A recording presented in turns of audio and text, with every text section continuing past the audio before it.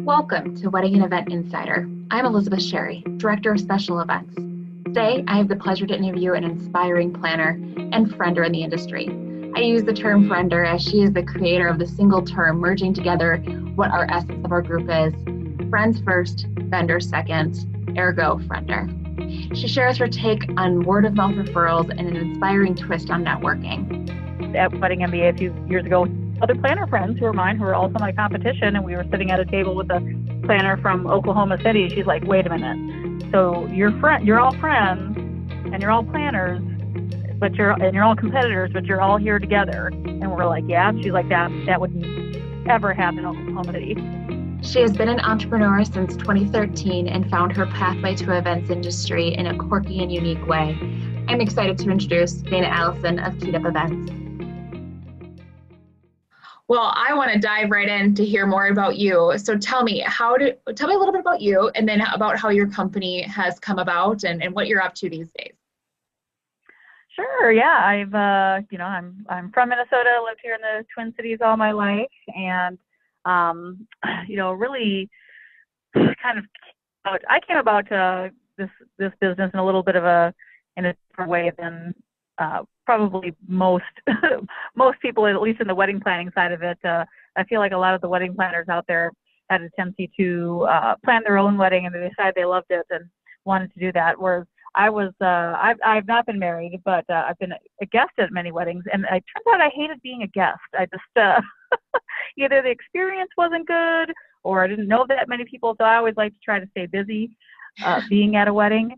And so um, I found that I was I was a much better helper and like how can I help you with your wedding? Or how can I help you plan? Or or you know when my friends were getting married I never quite made the bridesmaid cut off. And so I was you know personal attendant a lot. So it kind of kind of came up that way uh, that I that I just really enjoyed uh, the the bus the behind the scenes part of it. And and you know when you mix that in with uh, back in 2013 when I had finally decided to kind of start the business. I was working a full time job and a part time job, and I just finished uh, going back to school. And I was like, well, I got five extra hours a week. Why don't I just try this whole wedding planning business? And and there I went, and I did that. Did it uh, not fully, you know, part on the side and whatnot for six, five, six years before I finally took the plunge and uh, head, headed into it full time, which is strange for me. I certainly never thought of myself as an entrepreneur, but it's amazing. Like once you start, you're like, oh, I could do this or this. Maybe I should. Now that this is my full time business, now maybe I'll start this other side business. it it sucks you in.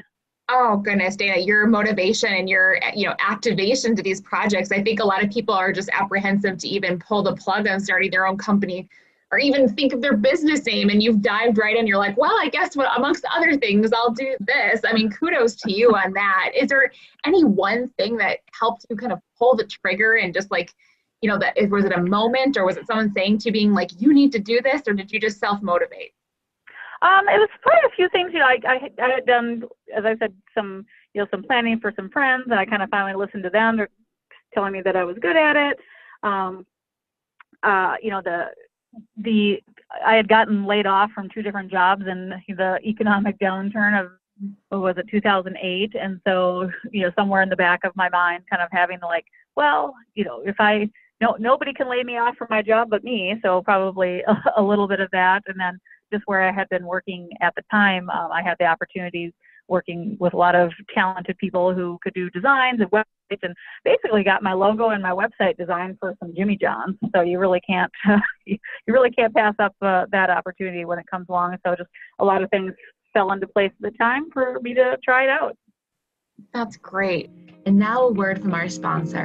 I'm Elizabeth Sherry, your host, and I want to tell you about Jesse Wilkin and his venue, Northern Stacks Events.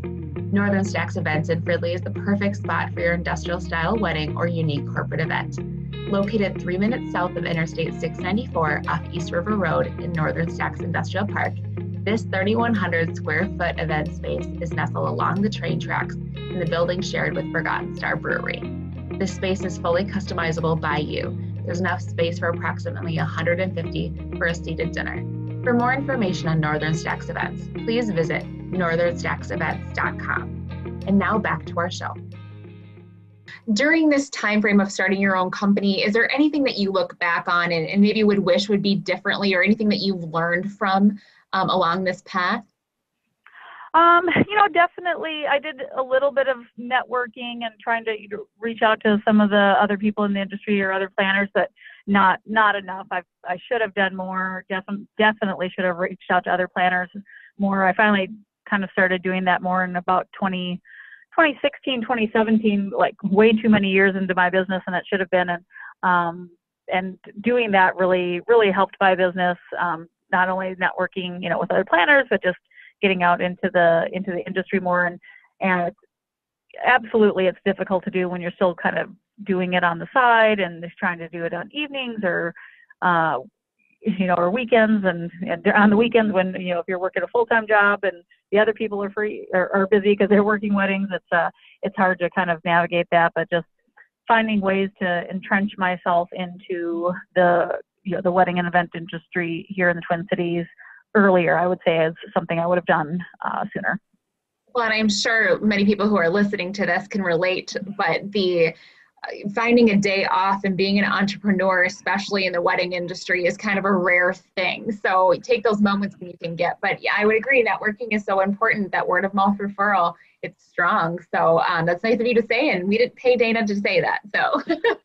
Right. oh goodness. And so one of the other things I wanted to ask you about is is there anything in your career that you feel like you've been the most proud of an achievement goes or or something you look back and you're like, oh, you know, I did that and that's really special. So I didn't know if you had a highlight of your career at already such a young age.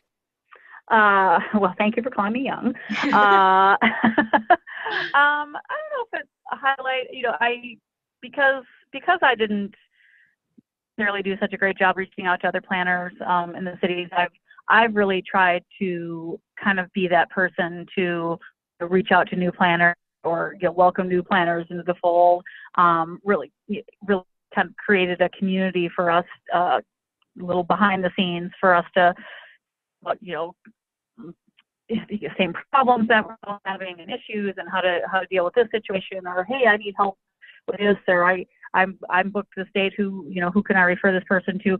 So really creating a, a really inclusive network um, and community of of the planners here in the Twin Cities, uh, which which based from what I understand from other markets, uh, just doesn't really maybe have much. I was at Wedding MBA a few years ago. Other planner friends who are mine, who are also my competition, and we were sitting at a table with a planner from Oklahoma City. She's like, "Wait a minute, so you're friend, you're all friends, and you're all planners, but you're and you're all competitors, but you're all here together. And we're like, yeah. she's like, that that would ever happen in Oklahoma City. So I think uh, I think that that really kind of warms warms my heart to to know that I maybe helped create that uh, that better community here in the Twin Cities that's really admirable of you to to do that effort because i think a lot of people do have that fear of competition versus being that friend in the industry that you can collaborate with. So I, I really appreciate that about you. You get that mantra that we really believe as an essence as TCWEP goes. So kudos to you.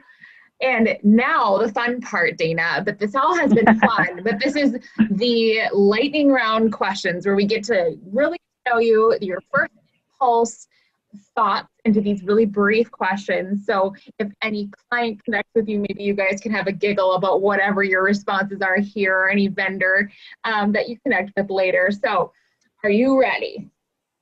I'm ready. Okay, perfect. What is your favorite type of music? Uh, show tunes. oh, I understand that. Okay, and then what is one thing you cannot live without? chapstick. Lip ah, yeah. Yeah, good one.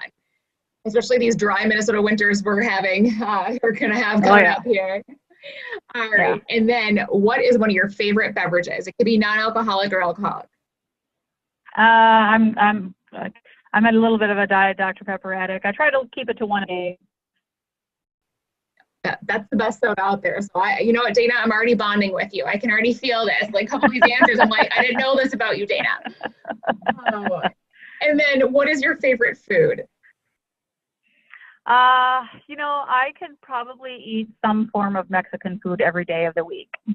Like not every not every meal, but like you know, I could eat a breakfast burrito one day, and I could eat a you know a, a taco bowl for lunch the next day, and I could definitely eat nachos for dinner the next day, and uh, you know, so, some form or variation of Mexican food probably every day. And now I'm hungry. Okay. All right. And then the last one. Do you have a favorite quote or saying or mantra of any sort? Um, I do. I do. And I apologize because I'm gonna I'm gonna butcher it a little bit, and it's a it's a Maya Angelou quote, which is something along the lines of like like do better, like do do your best until you know better, then do better. I love that. And you know what? I put you on the spot with that, but that's pretty impressive to actually recite at least the essence I'm getting from that quote, if not the actual thing. Well, uh, to, to be fair, it's uh, it it was uh, my um my my Facebook cover uh, photo quote for quite a long time. well, good. Well, Dana, thank you so much for chatting with me today. Um, this was a really pleasant time, and I'm glad I got to know you a little better. Yeah, yeah, no, this has been fun. It's uh, it's always great talking with you and, and being part of the TCWEP community has been really, um, really great and special for me. Thank you to my special guest today, Dana Allison of Keyed Up Events. For more information about Dana and her company, please go to keyedupevents.com. If you are interested in more content like this Insider podcast, please subscribe to our newsletter at tcwep.com. Now let me sign off with Dana's favorite quote from Maya Angelou. If you don't like something, change it. If you can't change it, change your attitude. I'm Elizabeth Sherry. Thank you for listening to Wedding and Event Insider.